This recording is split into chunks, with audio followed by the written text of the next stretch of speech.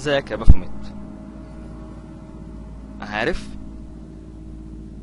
بيكون عندك الشغف إنك توصل للمرحلة اللي تخليك مصدق الوهم بكل تفاصيله تقريبا عشان بس ما تتصدمش بالحقيقة. بالأخص كمان بالأخص كمان لو الحقيقة دي هتخليك تشوف قد إيه أنت قدام نفسك ولا حاجة. وتقريبا هو ده الشعور اللي أنا حسيته. ما كنتش قادر أتكلم أو أقوله بس دلوقتي لازم الموضوع يتفتح عشان الموضوع دلوقتي ما بقاش مجرد شعور بالنسبة لي أو أو حدث خاص بيا. الموضوع أكبر من كده. باختصار ومن غير مقدمات تانية ما كانش عندي أي فكرة عن المادة أو إيه اللي المفروض أعمله للمادة دي بحكم إن أنا ما ذاكرتهاش ولا رحت لها أي section أو محاضرة طول الترم. كان أكتر عذاب بالنسبة لي إن الدكتور يطلب مننا إن إحنا نعمل مجموعات يوميا لمدة شهر. ونتابع تطورات بعض النباتات ونكتب تقارير وملاحظاتنا. الكلام ده كله هيكون عليه درجات العملي والشفوي عمل السنة. طبعا دورت على أي حد يساعدني في المهمة ديت وتقريبا كان كله خلاص عمل مجموعات ونظم نفسه وما كانش فاضل غيري أنا وأحمد. بالمناسبة أنا وحيد. ده اسمي وحالتي. طالب في كلية زراعة. الأزهر. لسه في سنة أولى. تقدر تقول ما عنديش أي علاقات من أي أنواع خاصة بالكلية أو حتى براها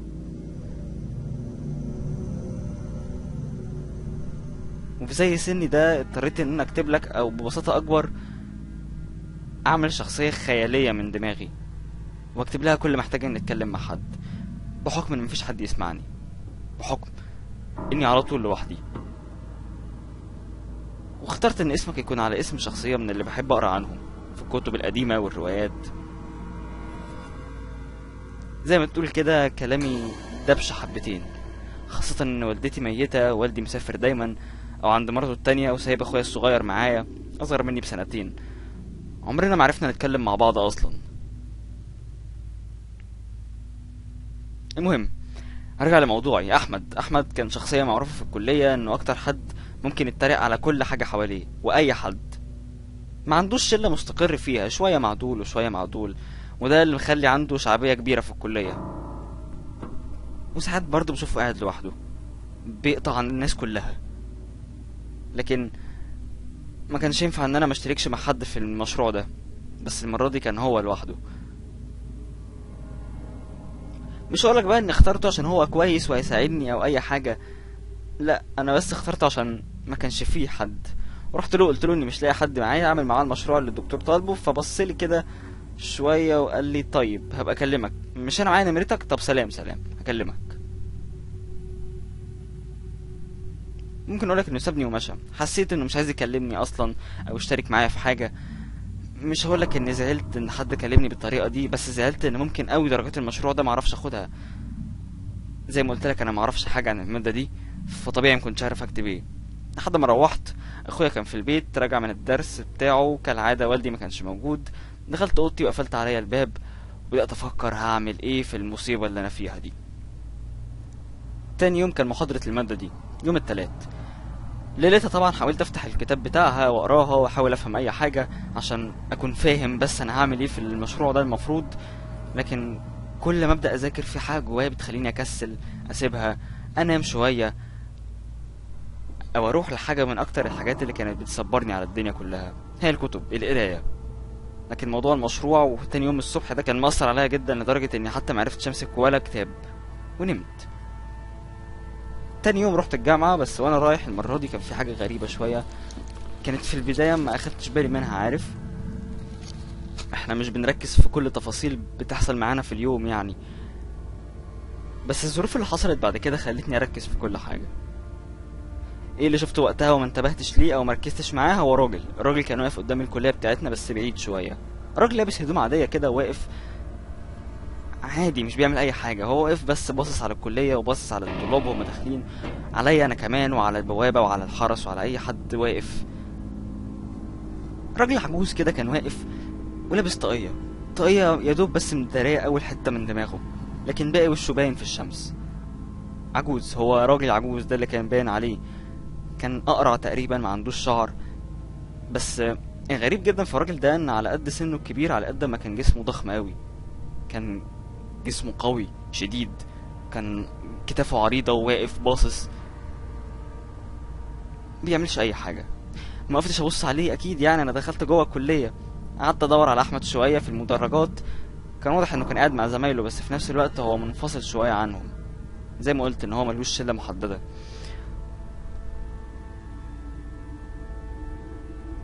لقيته كمان كان فتح الموبايل بتاعه. وموطي دماغه عليه ومركز فيه جدا كأنه بيقرأ حاجة أو بيكلم حد عامل إن هو مهتم بحاجة يعني. من غير كلام كتير رحت قعدت جنبه لحد ما انتبه لي وسلم عليا والدكتور دخل. زي ما قلت لك إن دي تقريبا كانت تاني محاضرة ليا من أول الترم في المادة دي وإحنا ساعتها كنا في نص الترم. اللي كان بيخليني نروح بالعافية إن بدأ ينزل أسماء للناس اللي ممكن جدا يتحرموا من الامتحانات بتاعة المادة لأنهم ما بيحضروش سكاشن. فاضطريت أحضر الاثنين والتلات كمان. المهم ما كنتش عارف أجمع أي معلومة. طبعا نص المحاضرة طارت والنص التاني ما كانش بيتكلم أصلا عن المفروض أعمله في التقرير اللي هسلمه للدكتور. بما إن أحمد مش عايز يعمل التقرير معايا وكل مرة ألاقيه بيسيبني ويمشي بيحاول يتهرب مني. روحت البيت نفس الروتين اليومي. أخويا جه متأخر وأنا قريت وقلت أقعد أدور شوية على النت على نبات يكون سهل في التقرير بتاعه. معلومات صغيرة عن كام نبات كده وقفلت ونمت. من الليلة دي قررت إني أحاول أعمل أي تغييرات وأكتبها في ال report حتى لو هكتب إن ما حصلش حاجة أو تغييرات للنبات بس كان لازم أتحرك لأن الوقت كان بيضيع. وأنا فعلا ما عملتش ولا كلمة في التقرير. تاني يوم. تاني يوم كان عندي محاضرة كيمياء وبعدها section حضرت المحاضرة وسبت ال section ورحت المزرعة. المزرعة دي مكان صغير كده جنب الكلية بتاعتنا بيكون مليان نباتات. هو ده ممكن أقول لك المكان اللي بنروح عشان ندور على حاجة زي كده هناك. مكان عامل زي المعمل كده بنستخدمه في التقارير اللي زي دي.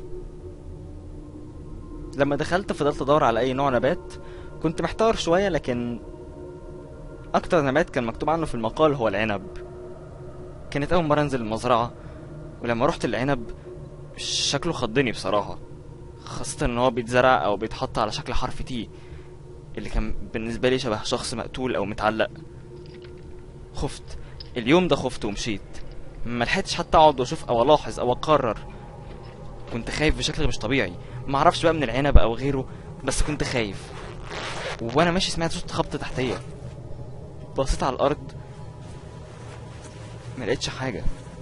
بس كنت متأكد إن في حاجة خبطت في رجليا. المشهد كان بالنسبة لي يخوف. المزرعة كانت فاضية تماما. عديت كل حاجة وروحت البيت. من خوفي. يوم الخميس.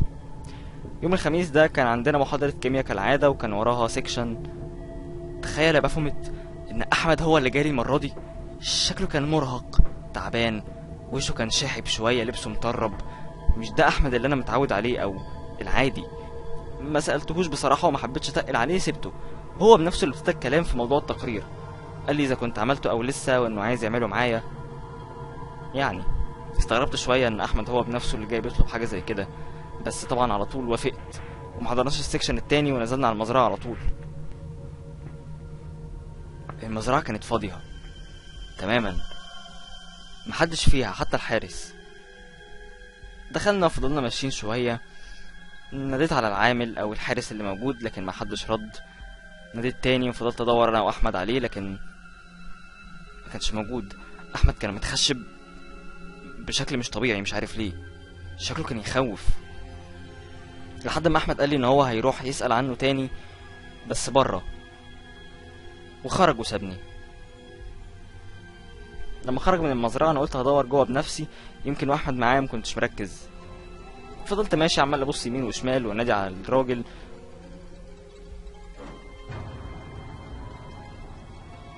لحد ما لقيته. لقيت الراجل فعلا. لقيت الراجل مقتول.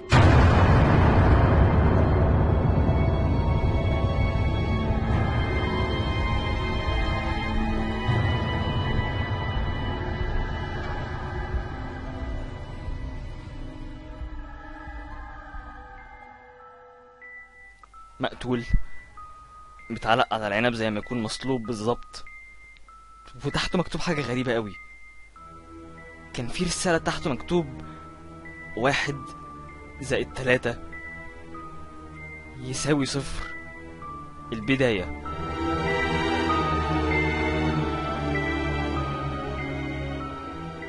ما انتبهتش لأي رسائل ساعتها أو أي حاجة غير طبعا اني جريت. فضلت أنادي على أحمد اللي كان جاي وداخل على المزرعة وهو بيقول لي ما لقيتش حد بره. قلت له الحارس الحارس مات. الحارس مات وفي تحتيه رساله غريبة. قال لي مات. جرى معايا شوية لحد ما دخل جوه عند العنب. بس ما لقيناش حد. حتى الرسالة اللي كانت موجودة ما كناش لاقيينها. قال لي مقتول. أهو يا سيدي. فين؟ فين؟ فين ميت وفين الرسالة اللي بتقول عليها؟ قعدت أحلف له وأقول له والله كان هنا. ما أعرفش اختفى راح فين. قالت لي ايك بس ما نمتش. عادي. مش مشكلة. قلت له ما نمتش. ما نمتش إيه؟ بقول لك أنا شفت واحد كان ميت. طب الحارس فين لو ما كانش اتقتل؟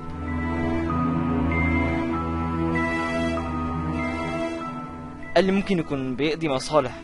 ما تاخدش في بالك من الناس قوي كده يعني مش مشكلة. خلينا بس نشوف التقرير اللي إحنا عايزينه ده ونروح. وفعلا كتبنا التقرير بالقدر اللي إحنا قدرنا نوصل له من الملاحظات. كنت بكتبه وأنا مفيش جزء في جسمي مش بيترعش. كنت مرعوب من اللي شفته.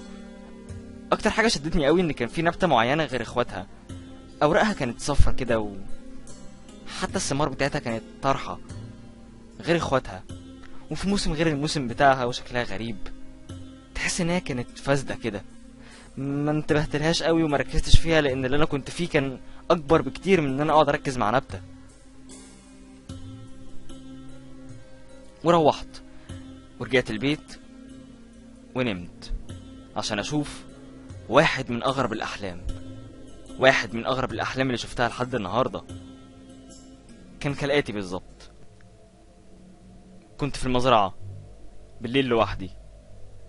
ماشي في طريق طويل. وفي صوت من ورايا.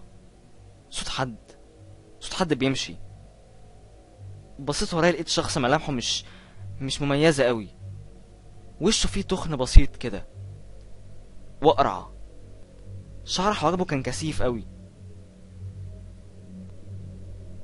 عينه كبيرة شوية. لا تعرف هو بيضحك ولا بيكشر. الشخص ده كان لابس زي جلابية سودة طويلة عليه وهو أصلا كان طويل وضخم. شكله كان يخوف. وقفته وهو فضل باصص لي شوية وأنا مش عارف مش عارف أدور على إيه. الأغرب إن الراجل ده كان ماشي بظهره يعني باصص لي وبيتحرك بظهره. وبيبص لي وملامحه باردة جدا. مفيش على وشه أي مشاعر لحد ما وقفنا عند شجرة التفاح. قال لي أحفر. وفعلا بدأت الحفر في المكان اللي شاور لي عليه ولكن وأنا بحفر لقيت زي راس باينه من التراب. شعر. شعر بني آدم. قعدت أحفر كمان لحد ما لقيته الحارس. مسك معايا الجثة وساعدني إن إحنا نطلعها من تحت الأرض لكن وهو بيساعدني كان في شال على ظهره وقع جنبنا. وفعلا بعد ما طلعناها بعد تعب. قال لي كلام لحد النهارده لسه فاكره. هيجي. بمزاجك أو غصب عنك هيجي. وهينفذ. ومفيش حد هيقدر يقف قدامه. ساعتها أنا سمعت منه الكلام ده وأنا واقف. ما كنتش عارف أقول له إيه. ومين ده اللي هيجي وهيعمل إيه ومين اللي مش عارف يوقفه ومين ده أصلا؟ ما كنتش فاهم طبعا قصده ولا فاهم أي حاجة. وصحيت من النوم مفجوع على صوت خبط تحت السرير عندي. حاجة كانت عمالة تخبط تحت السرير عندي.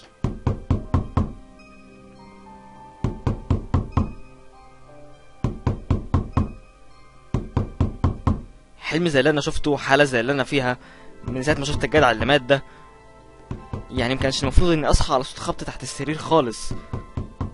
لا وكمان كنا الساعة خمسة الفجر وإحنا في الدور الأرضي. قمت قعدت على السرير لكني كنت متمسمر طبعا.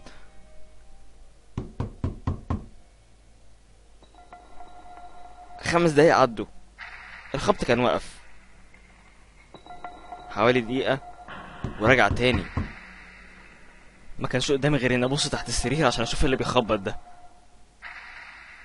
لكن أخدت بالي من حاجة وأنا بتحرك إني لابس هدوم الخروج. هو أنا قمت لبست هدوم خروجي إمتى؟ وبعدين هي مطربه ليه كده؟ ما ما أصل أكيد أنا أكيد أنا أكيد أنا كنت بحلم. اللي أنا كنت فيه ده أكيد كان حلم. ما أنت بتقوليش إن أنا نزلت ورحت المزرعة بتاعتنا و... وطلعت الحارس من الطق مش لا أكيد في حاجة غلط أكيد في حاجة غلط أنا مش فاهمها.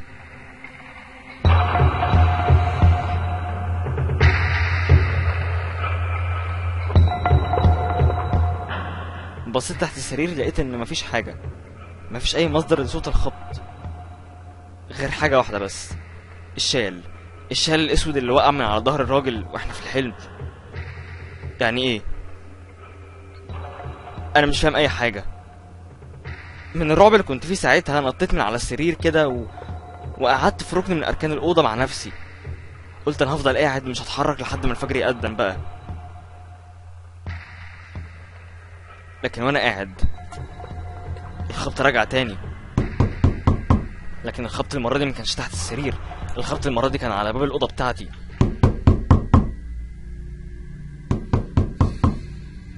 وبدأ الخبط مرة واتنين وتلاتة. والخبط شغال ما بيهداش. لحد ما سكت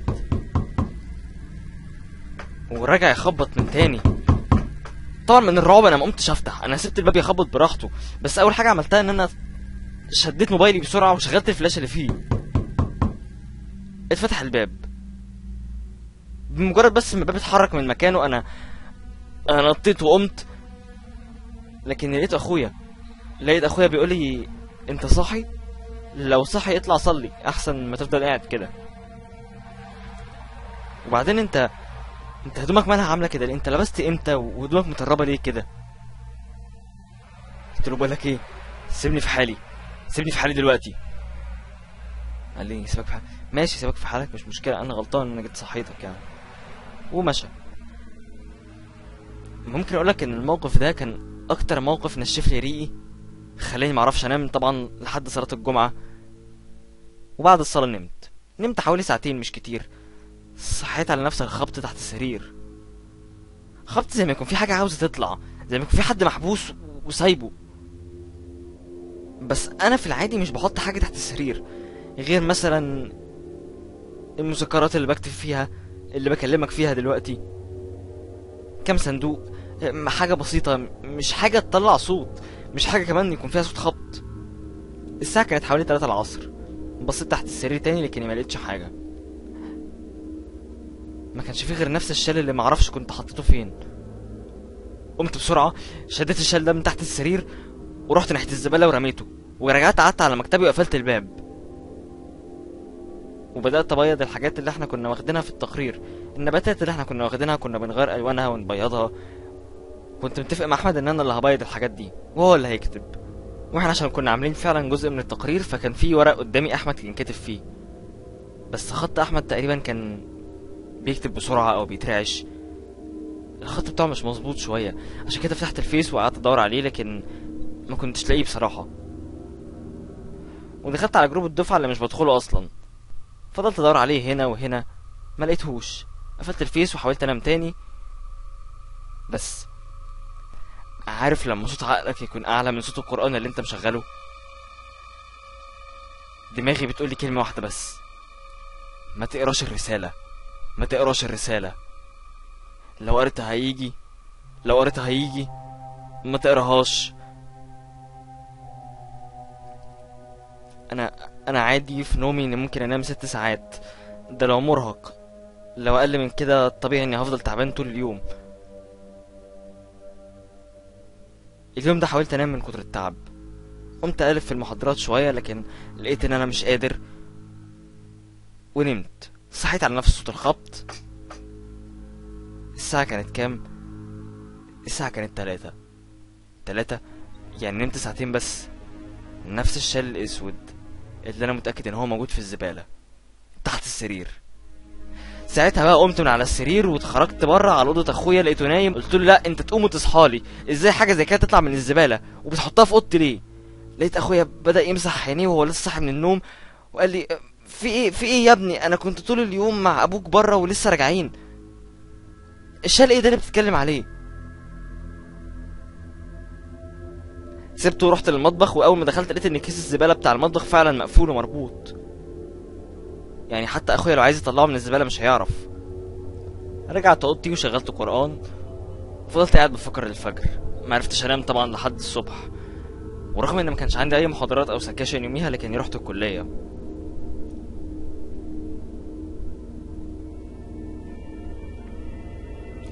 وأنا داخل الكلية كده ما كنتش شايف قدامي طبعا عشان ما نمتش كويس و... والقلق اللي أنا فيه؟ في حد خبط فيها جامد؟ لدرجة إن هو كان هيوقعني. كأني خبطت في حيطة ماشية. كان شخص بس شخص كان طويل وعريض كده ومداري وشه ولابس طاقية على دماغه. قلت له لو سمحت آه انت ما تاخد بالك وانت ماشي. الراجل بص لي قوي في عينيا كده وفضل ساكت. وقال لي لا مؤاخذة. ولف ومشى. مين ده؟ ده نفس الراجل العجوز اللي, اللي شفته واقف قبل كده قدام الكلية من فترة. يعني استغربت مين الراجل ده وبيعمل إيه هنا ومين ده أصلا. لكن اللي كان في دماغي كان أهم دلوقتي ودخلت على المزرعة على طول. لقيتها مقفولة وفي تجمع حواليها من الدفعة بتاعتنا. وسمعت في اتنين بيتكلموا بيقولوا إن هم لقوا جثة الحارس جوه عند شجرة التفاح. شجرة التفاح. الحارس ثانية واحدة. يعني كل اللي أنا فيه دوت ما كانش حلم كان حقيقة. وقفت لحظة مع نفسي وأنا مش عارف انتبه لأي حاجة حواليا. كأن دماغي فصلت. لفيت شوية في الكلية وأنا سرحان. مستني المزرعة تفضى واللي فيها يمشوا. كل الدوشة دي تنتهي وفعلا المزرعة فضيت بعد حوالي ساعة ونص. كان تقريبا كل الهوجة اللي فيها خلصت. انتهت. الناس كلها مشيوا. دخلت ومحدش واخد باله فضلت أدور على العنب ورحت له. نفس النبتة اللي كان شكلها غريب بتاعت العنب ديت فضلت واقف قدامها وبحاول ألاحظ فيها أي حاجة جديدة.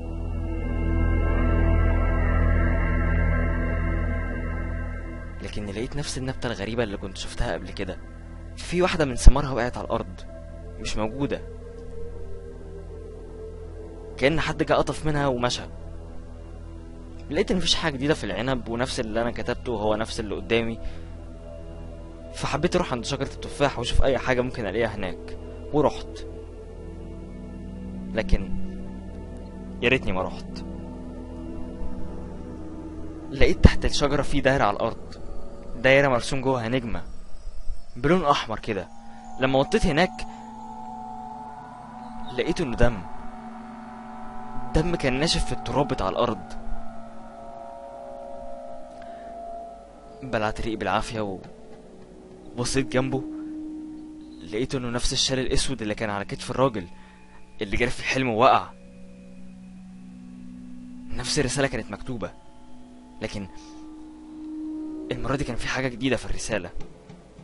كان مكتوب تلاتة زائد واحد يساوي صفر وحروف مشبكة مع بعض.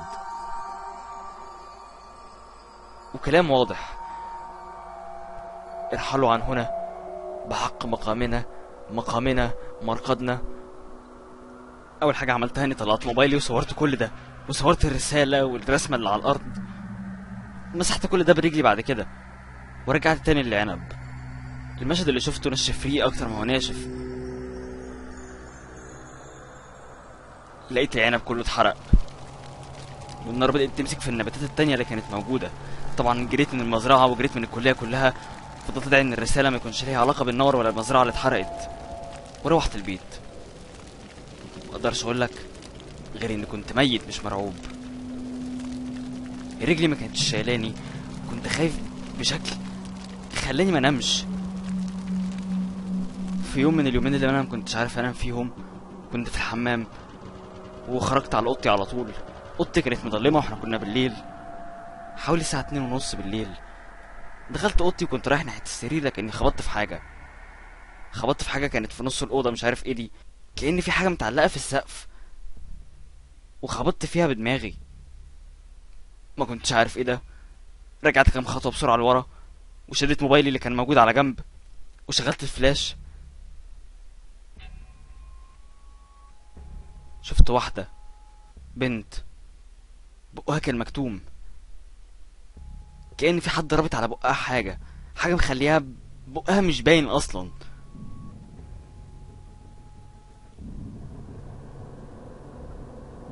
مبرقة. عيني هنازل منها دم. وشها متشوه. مدربة وكانت نازلة من السقف. كأن رجلها لازقة في السقف. ومبرقة. كانت ساكتة. المنظر لوحده كان كفيل قوي. إن أنا يغمى عليا. مش عارف مين دي. مش عارف إشمعنى جت لنا وإشمعنى كانت بالمنظر ده. لكن كل أقدر أقوله لك إني كنت عايش رعب. كابوس. كابوس أنت عمرك في حياتك ما تتخيل هو شكله عامل إزاي. حياتك بتتشقلب وانت مش عارف أصلا هي بتتشقلب إزاي وليه. وجاي يوم الحد. اليوم ده كلنا بنروح فيه الكلية لأن اليوم ده بيكون فيه محاضرات مهمة جدا ما ينفعش تتفوت. حتى لو انت مش بتحضر أصلا بس لازم على الأقل تحضر المحاضرات دي. والمدرج فعلا بيكون مليان. دخلت المدرج وكان في أكتر من شخص بيبصوا لي بشكل مريب كده مش كويس. كأن ليا يد في الموضوع بتاع الحريقة اللي حصلت أو هم حاسين بكده. دورت على أحمد عشان أقعد جنبه واتدارى من عيون الناس دي. وعشان برضه ما كنتش لوحدي بصراحة. كان قاعد لوحده كالعادة. بس على غير العادة إن هو اللي نادالي وقال لي تعالى اقعد معايا. ودخلني جنبه كده وبدأ هو بالكلام. قال لي أنا شفتك بس معلش ما عرفتش أسلم عليك. أنت عارف بقى إني كنت واقف مع ناس وكده. كان وشه باين عليه إن هو مخطوف أو خايف من حاجة. قلت له لا ولا يهمك مفيش مشكلة. أنا ما خدتش بالي عموما. هو إحنا هنعمل في التقرير إيه؟ قال لي الدكتور امبارح نزل post على ال group بتاع الكلية بيقول إن هو يوم التلات لو المزرعة مبقتش كويسة هنعمل التقرير على النت وخلاص. وغالبا كده هتبقى تمام فما قدامناش غير إن إحنا نستنى. قلت في دماغي الحمد لله إن الموضوع هدى على كده وإن حتى المزرعة مش هروحها تاني مش هشوف الرسائل دي تاني. كنت مرتاح شوية وأنا قاعد. وحضرت المحاضرة ومشيت لكن جيت أسأل أحمد على حاجة معينة في اللي هو كان كاتبه قبل كده. لقيته واقف مع اتنين زمايله وبنت كان بيتكلم معاهم. لكن فجأة لقيت إن وشه قلب بسرعة وقال لي بقول لك إيه أنا هاجي معاك. وفعلا روح معايا اليوم ده. كان طريقنا واحد فمشينا مع بعض. كان طول الطريق بيتكلم وبينفعل على غير عادته. بيتكلم عن حاجات زي واحدة خاطبته أو كان هيخطبها تقريبا سابته أو بنت بيحبها وهتخطب لواحد تاني. بيتكلم عن حاجة زي كده. أنا مكنتش مركز معاه لأن أنا مكنتش نمت وبتحرك بالعافية ويا دوب بس كل اللي كنت بعمله إني بهز دماغي إن أنا موافقه في الكلام وبس. لك أن تتخيل شخص ما نامش بقاله تلات أيام كويس في الظروف اللي أنا فيها دي هيكون عامل إزاي. وروحت المرة دي ممكن أقولك إني نمت. نمت بعمق قوي لأن الحلم اللي كنت بحلمه أو اللي شبهه ده كان جالي تاني. نفس الشخص المزرعة نفس الشال. بس المرة دي كان بيخنق واحد تاني. شخص غريب معرفوش ممكن اكون شفته قبل كده لكن مش متأكد منه. كان ماسكه من رقبته وبيرفعه لفوق نفس الراجل. مسكه ورفعه لفوق وفضل متك على رقبته وبقوة إيده فصل دماغه عن جسمه. فتت رقبته في إيديه والشخص ده دماغه وقعت على الأرض قدامي وجسمه وقع. كنت بحاول أساعد الولد ده بحاول أشده من إيد الراجل بحاول أبعده لكن مش قادر. لحد ما الراجل ده بص لي بص في عينيا وهو بيخنقه. اتثبت في مكاني. كأنه شلني. وبعد ما قتل الولد قرب مني وايديه كلها دم. وحط إيده كلها على وشي.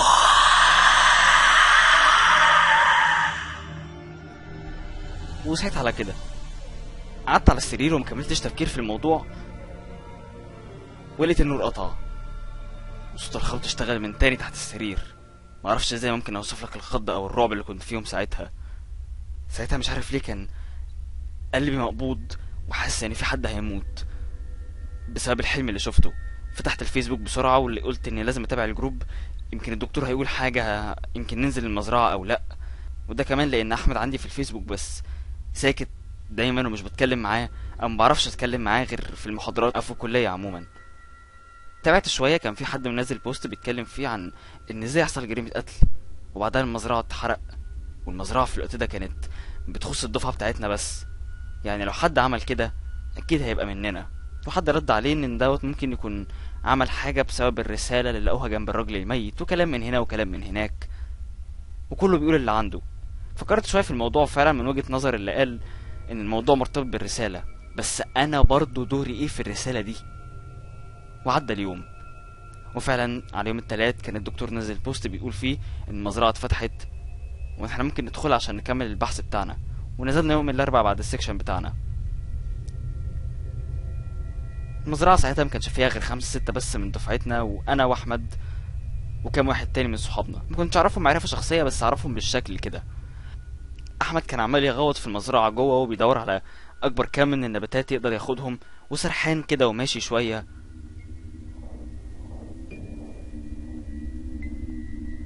أنا كنت بتحرك بس حاسس إن أنا هشوف مصيبة.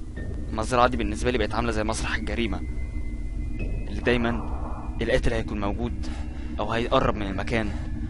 كنت حاسس إن في حاجة هتحصل ساعتها وفعلا زي ما كنت متوقع بالظبط. بس قبل ما يحصل حاجة لقيت نفس النبتة الغريبة. لقيتها وكان واقع منها ثمرة تانية كأن في حد جه وقطف منها تاني. ما تبقاش غير اتنين. ثمرتين بس موجودين في النبتة دي. عارف الغريب كان إيه؟ الغريب إن كان نص النباتات اللي موجودين في المزرعة اتحرقوا مش موجودين. اشمعنى النبتة دي؟ اشمعنى النبتة ديت اللي فضلت موجودة مع إن النبتة دي قريبة جدا من المكان اللي النار مسكت فيه؟ اللقطة تركيزي كان صوت حد وقع على الأرض. ورحت ناحيه الصوت بسرعة لقيت إن هو كان أحمد. اتزحلق في بركة ميه صغيرة كده ووقع على الأرض. ابتسمت له قومته وقلت له يا عم خلي بالك يا عم وانت بتتحرك. قام بكل ثبات من غير حتى ما يديني أي تعبير على وشه وقام مكمل بص يمين وشمال. لكن ما عداش وقت طويل وسمعنا صوت حد بيصرخ من بعيد صوت ولد. جريت أنا وأحمد ناحية الصوت والكام واحد اللي كانوا موجودين كمان في المزرعة جريوا. لقينا واحد صاحبنا كان معانا.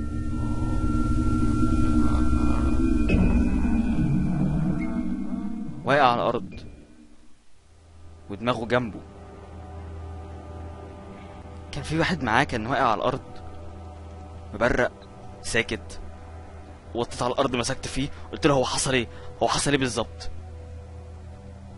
كل اللي جه على لسانه إن إن في نبتة لفت حوالين رقبة صاحبه دوت وفضلت تخنق فيه لحد ما فصلت دماغه عن جسمه. الولد ده الولد ده شكله نفس الولد اللي شفته في الحلم. أنا متأكد هو نفس الولد هو نفس الشعر هو نفس اللبس. شكله هو نفس الولد. الولد ده كان من صحاب أحمد. أحمد ساعتها لقيته كده وقع على الأرض ودرى وشه. معرفش كان بيعيط ولا إيه بس كان ساكت. ما سمعتش منه صوت وخرج. من اليوم ده والدنيا اتقلبت في المزرعة كلها. سمير تقريبا صاحبنا اللي مات ده كان اسمه سمير ده اللي عرفته من أحمد بعد كده. لقوا جنب جسمه رسالة وده اللي عرفته بالليل لما فتحت جروب الدفعة والرسالة كان فيها نفس الكلام اللي كان مكتوب.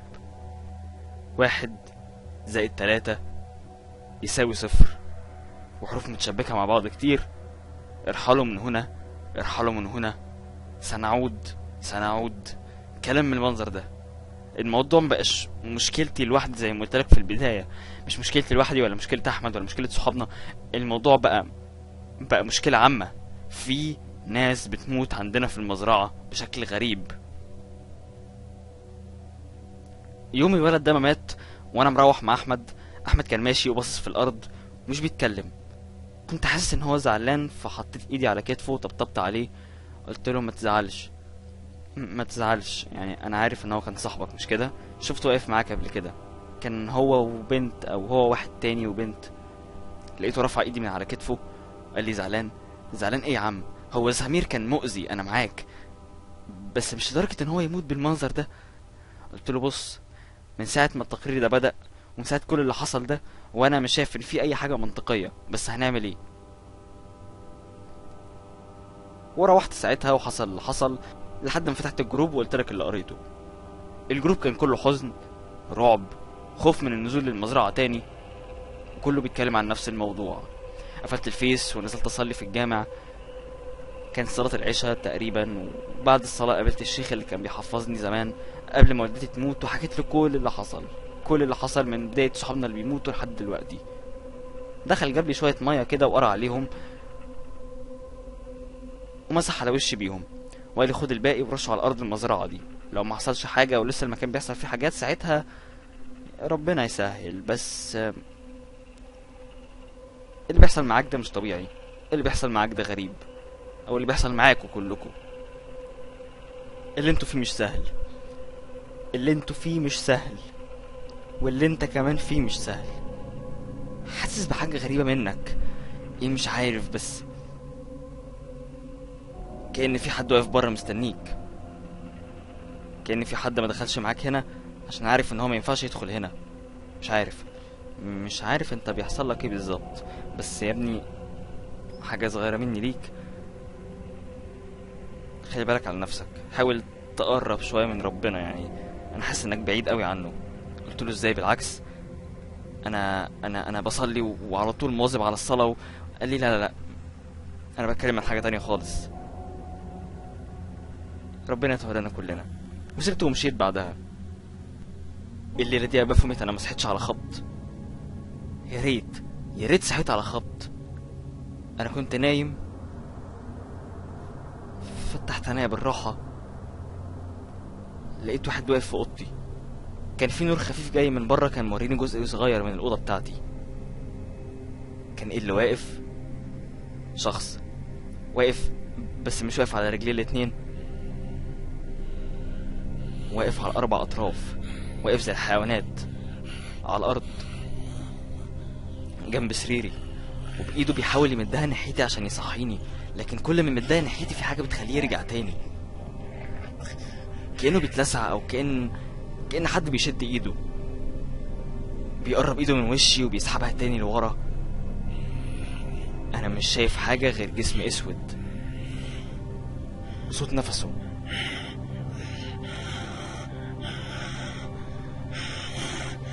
بدأ يرجع بظهره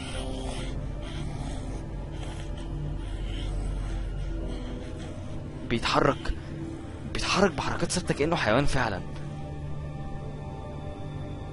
بيمشي. فضل يتحرك بالصورة دي لحد ما خرج بره الأوضة خالص. أنا باقي الليلة دي ما نمتش. أنا تقريبا شفت تقريبا شفت عفريت عندي في الأوضة أو جن. أنا أنا مش عارف أنا شفت إيه. رحت تاني يوم الكلية ونزلت المزرعة رشيت المية اللي كانت معايا كلها وسمعت كلام الشيخ بالحرف. استنيت أي حاجة تحصل من اللي بشوفها في الأفلام أو أحس إن في أي تغير لكن ما لقيتش أي حاجة خالص. وأنا ماشي بصيت بص على النبتة لقيت إن ما تبقاش منها غير ثمرة واحدة بس. ثمرة كان شكلها غريب قوي كانت صغيرة بتختفي من أربع ثمار لواحدة بس. اللي اكتشفت إن كل ثمرة بتختفي في شخص بيموت. يعني المرة دي المرة دي كمان في حد هيموت. مين مش عارف بس كنت خايف.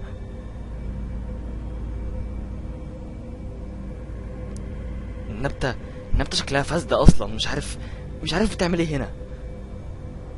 بس الغريب إن اليوم ده ما حصلش حاجة. ما حضرتش محاضراتي ولا سكشني وكانت الدفعة كلها مشغولة بالمحاضرات فأخدت راحتي قوي في الكلية.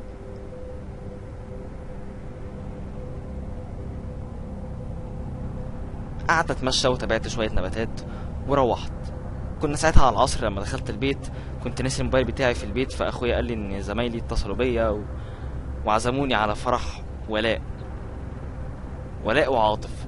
زمايلنا في الجامعة. أنا معرفش مين ولاء ومعرفش مين عاطف لأن أنا معرفش حد تقريبا في الجامعة لسه.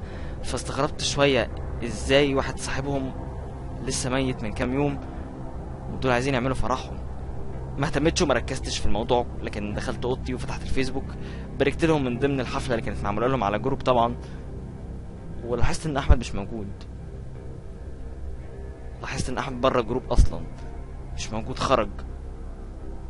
استغربت جدا ساعتها ونمت.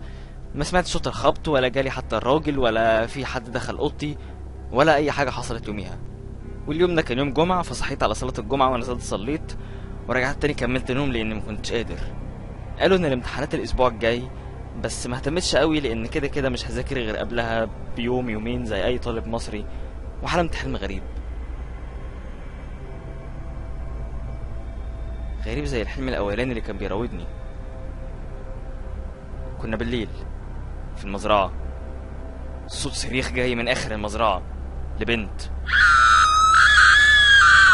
ما كنتش عارف صوت مين في الأول. جريت عليه كان كانت ولاء. ولاء تقريبا اللي المفروض فرحها هيكون كمان يومين أو كمان فترة. نفس الراجل الضخم اللي لابس عباية سودا وأقرع. مسك ولاء وهي مش قادرة تتحرك أو تدافع عن نفسها. كل اللي كانت بتعمله إن هي كانت بتعيط وبتصرخ. مسكها ربط بقها وكتف إيديها وطلع من جيبه سكينة حط السكينة في عينيها. صف عينيها الاتنين بالسكينة. بدأ يمسك وشها ويهبده في الأرض وشها كله بقى يجيب في دم وجسمها متمرمخ بالتراب. وماتت. ماتت ودماغها تقريبا اتفجرت من كتر الضرب اللي كان في الأرض. وصلي.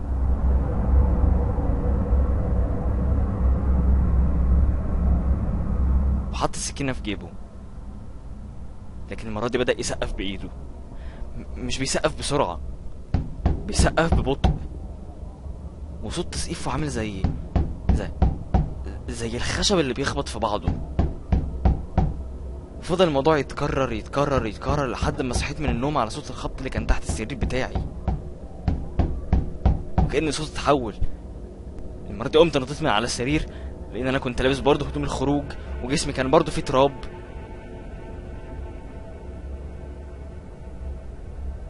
وكان على هدومي بقع الدم.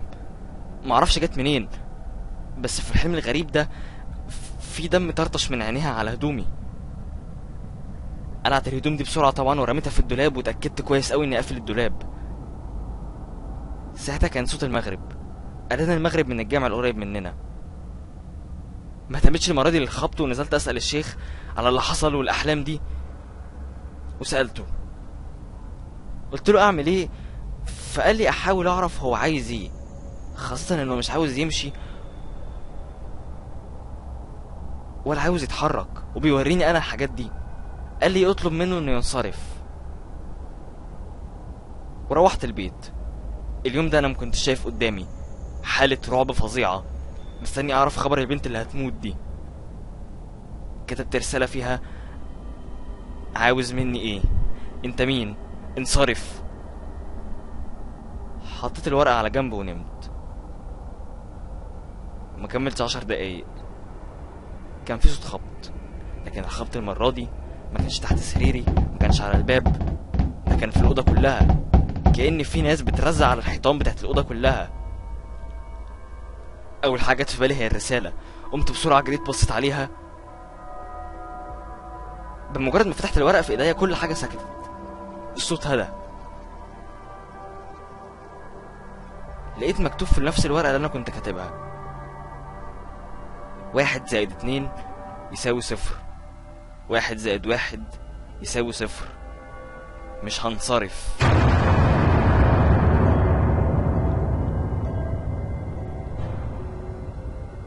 كلمتين كانوا مكتوبين تحت بعض بنفس الطريقة اللي أنا كتبت بيها الرسالة الأولانية.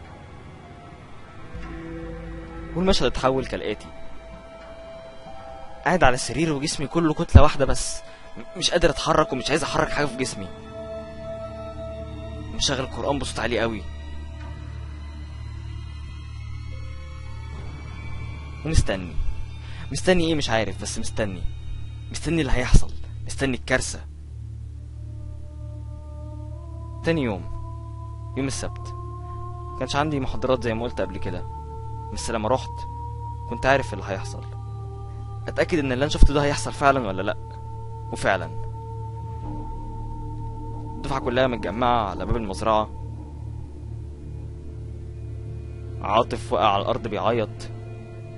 وصوت عياطه جايب الكليه كلها. كله كان بيداري وشه. واللي كان بيقول لي ما تدخلش واللي كان بيقول لي ما ينفعش تدخل. واللي كان بيقول لي لو قلبك مش جامد ما تدخلش. كل ده وأنا عايز أعرف فيه إيه؟ عشان أدخل جوه. ألاقي ولاء بنفس المنظر اللي شفتها فيه.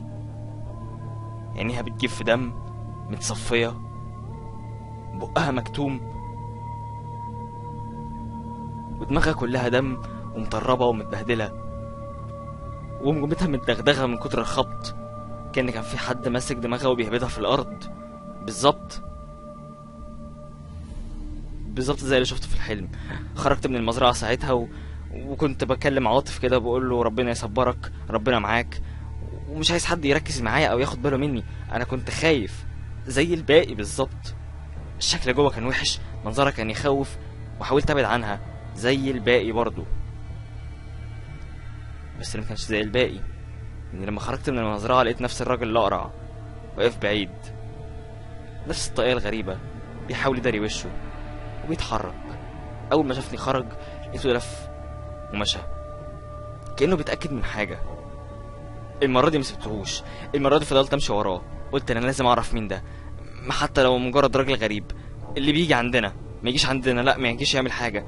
هو ممكن يكون البوليس وممكن يكون بيشك فيا. وفي مليون فكرة جت في دماغي وقتها من الرعب اللي أنا كنت فيه اضطريتني إني أمشي وراه. فضلت ماشي وراه لكن الراجل ده مش بيمشي زينا. يعني إحنا ممكن نكون وإحنا بنمشي بناخد بالنا من الطريق بنبص يمين بنبص شمال. ممكن نبص ورانا لو حاسين إن في حاجة مش طبيعية. لكن الراجل ده ماشي في خطوات ثابتة جدا. وراح ناحية عمارة قريبة من مكان الكلية دخلها وقفل باب العمارة. كانت عمارة من العماير القديمة. روحت وأنا منظر البت مش عايز يتشال من دماغي.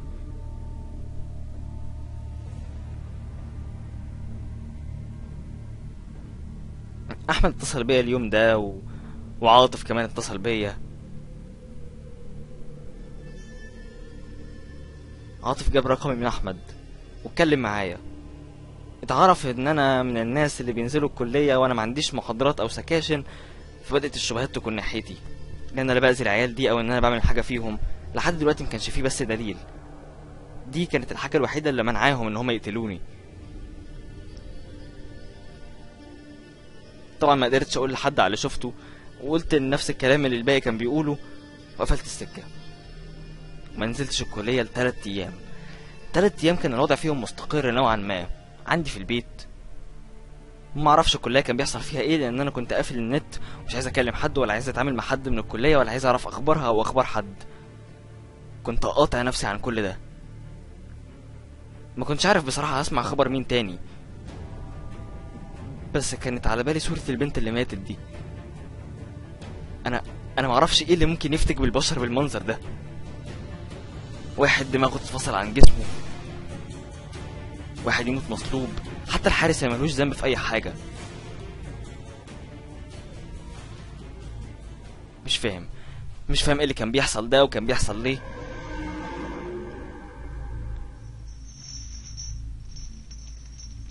لو النبتة ديت ليها يد في الموضوع أو أو ليها صلة دلوقتي المفروض ما تبقاش غير عنقود أو ثمرة واحدة. يا ترى الثمرة الواحدة ديت هتكون مين؟ أنا؟ طب أنا عملت إيه؟ على يوم الاربع كده لقيت أحمد اتصل بيا. قال لي إن بسبب الحالات اللي كانت بتموت في الكلية الفترة اللي فاتت لازم نروح الكلية عشان نجمع فلوس لكل الولاد اللي ماتوا دول ونعمل لهم حاجة على روحهم أو حاجة نفرح بيها أهلهم. يعني إحنا كمان دعينا أهلهم عندنا يوم الجمعة. وسألني أنا فين بقالي تلات أيام وما بردش على حد.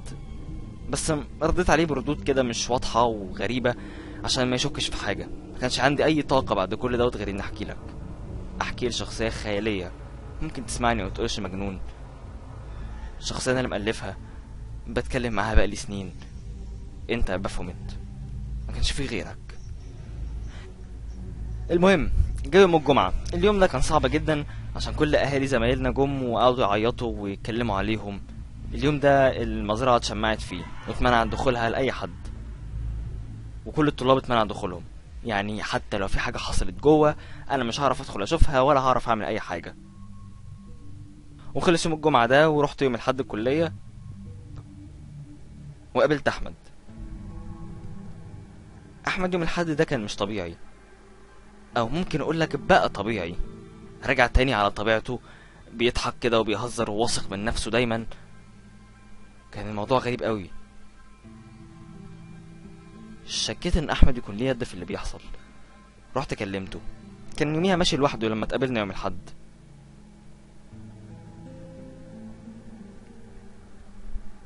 أصريت إن إحنا نقعد مع بعضينا ونتكلم في مكان هادي عشان نعرف نتكلم كويس. وساعتها سألته قلت له أنت تعرف بقى مين اللي قتلهم كلهم؟ العيال دي ما ماتتش صدفة.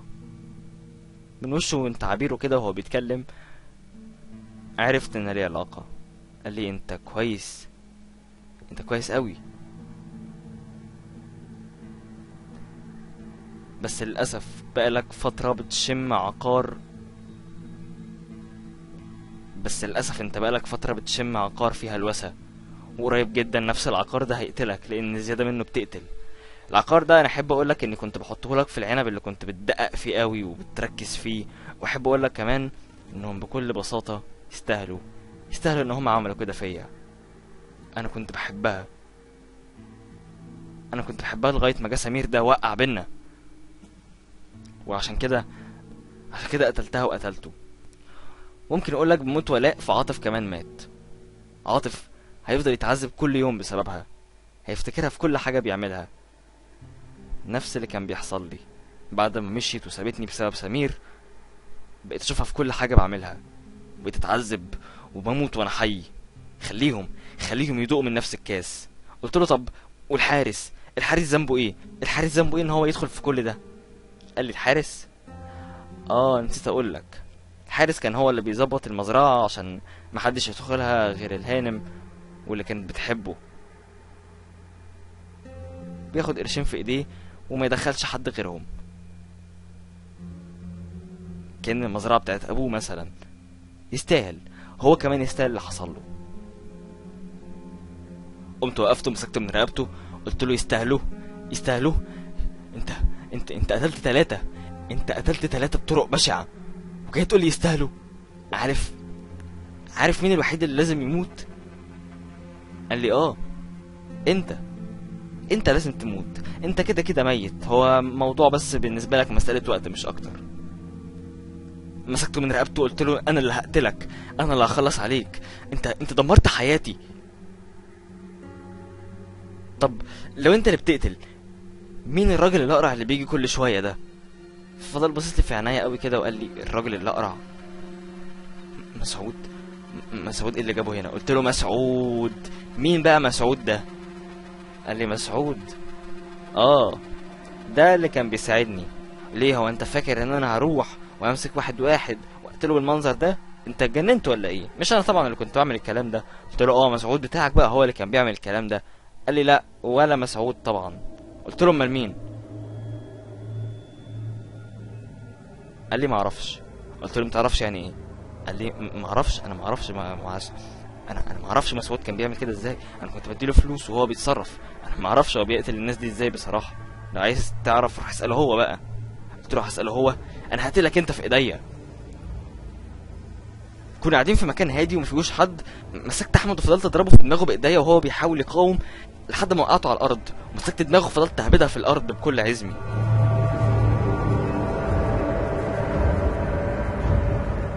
أحمد دماغه بدأت تجيب في دم وبيحاول يقاومني بيقول لي يا مجنون هتقتلني هتقتلني.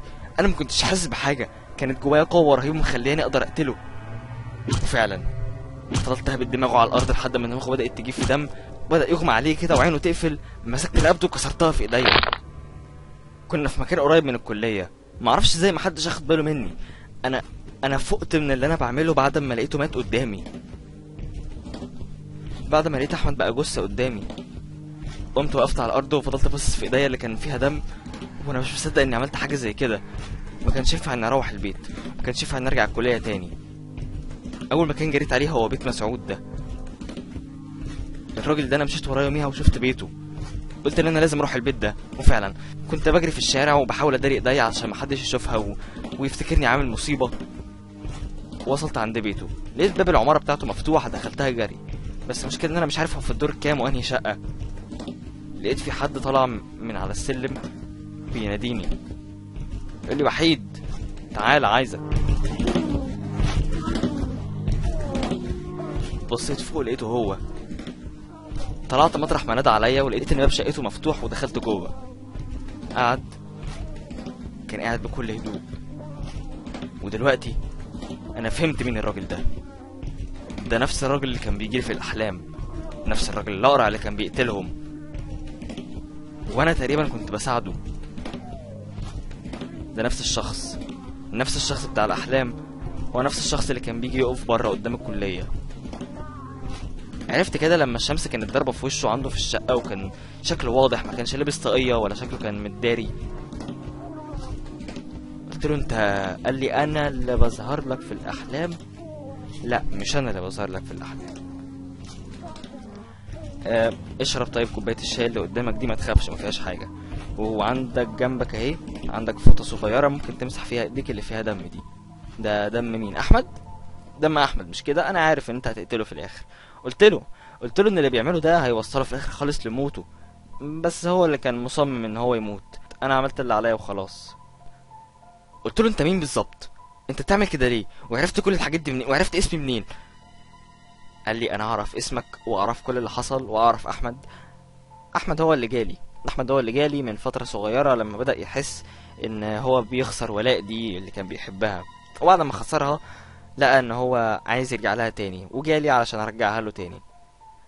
بصفتي واحد بيعرف يسخر الجن.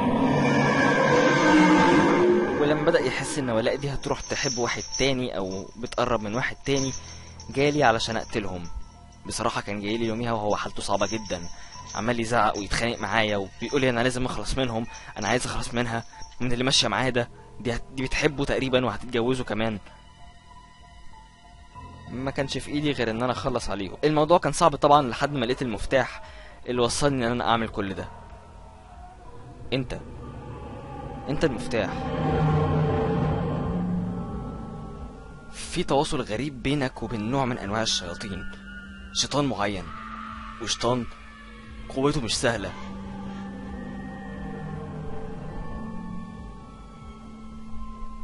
كنت في الأول مش عارف أنا بتعامل مع مين أو إيه لكن بعد كده عرفت أنا بتعامل مع إيه.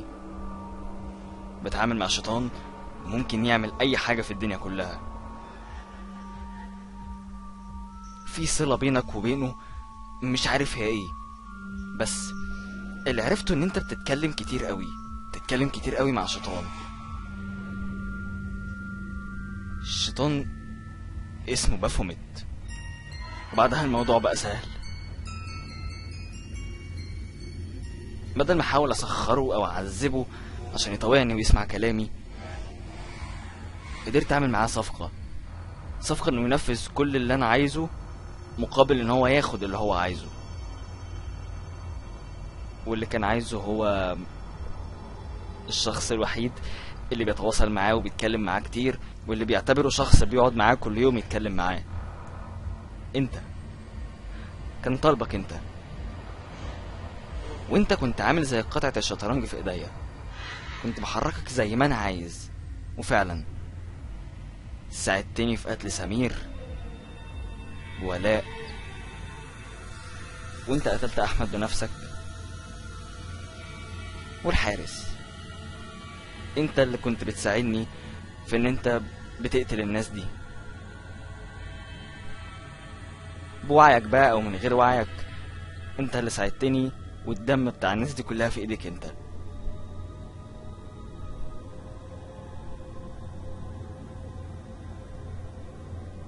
كانت في نبتة قبل كده زرعتها جوه في المزرعة بتاعتكو ديت وقدرت أدخل جوه ومحدش شافني. النبتة كانت بترمز له وكانت كل فرع من فروع النبتة دي بيقع بيموت معها شخص. بس أنت ما سألتش نفسك لو كل فرع من فروع النبتة دي بيقع وفي شخص بيموت طب النبتة دي نفسها بتمثل مين؟ بتمثلك انت.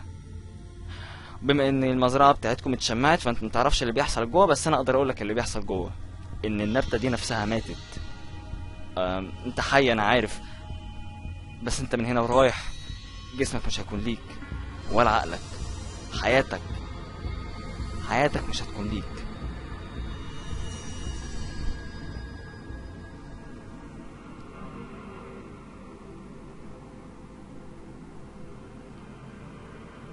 وطلعت انت انت يا بافوميت سبب كل اللي أنا فيه. طب أنا اذيتك في إيه؟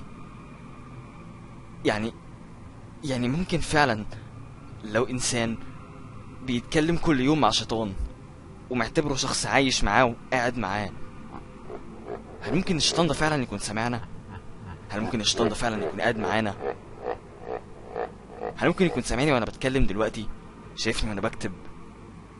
قاعد معاك وأنت بتقرأ أو بتسمع قاعد معاك وأنت بتقرأ أو تسمع السؤال من كل ده. ممكن حد من الشياطين يتعامل معانا في حياتنا وإحنا مش حاسين؟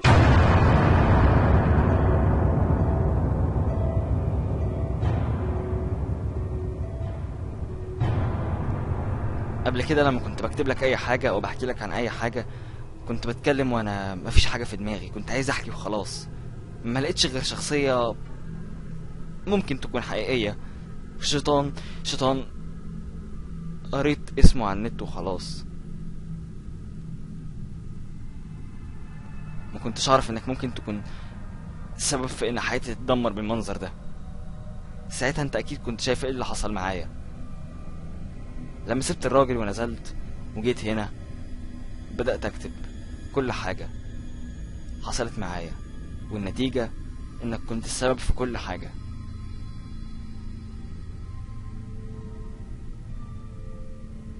أنا بلغت البوليس عليا إن أنا قتلت كل الناس دي بس عارف البوليس لما يجي هيلاقيني ميت. كلها ثواني ثواني بسيطة قوي وهجيلك هجيلك بنفسي. عشان أنا خلاص